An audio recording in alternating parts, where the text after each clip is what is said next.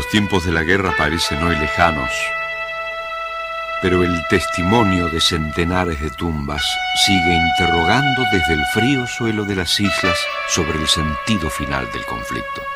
¿Por qué se enfrentaron en una guerra Argentina e Inglaterra? Al concretarse el desembarco del 2 de abril, los argentinos celebraron ese paso como el primero de una reivindicación largamente anhelada.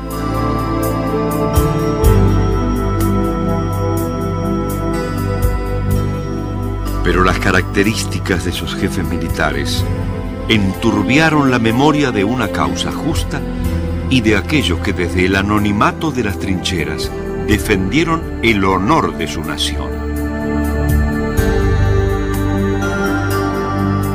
¿Cuál fue el beneficio de los vencedores? ¿Las ganancias obtenidas por la explotación de pozos petrolíferos o por la industria pesquera?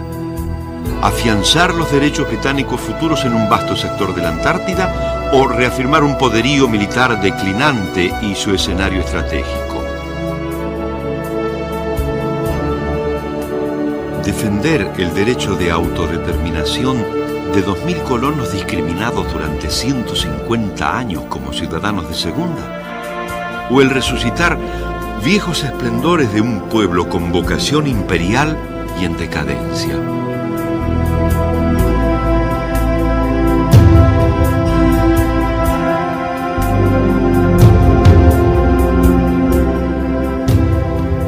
Entre tanto, la carrera de los pueblos que consiguen su riqueza gracias a la opresión de otros sigue su curso.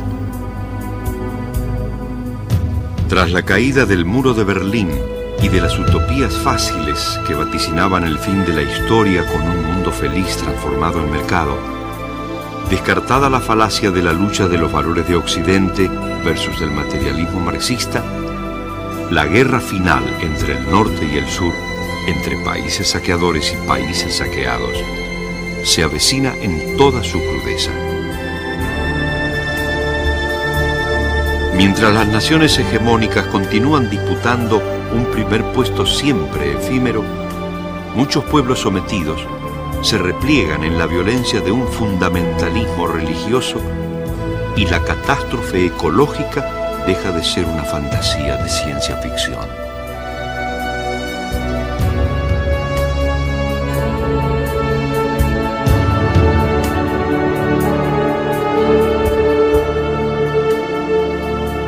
La inmolación de tantos soldados en Malvinas repite un salto conocido. De un lado, la defensa humilde de una dignidad. Del otro, el costo inhumano del poder.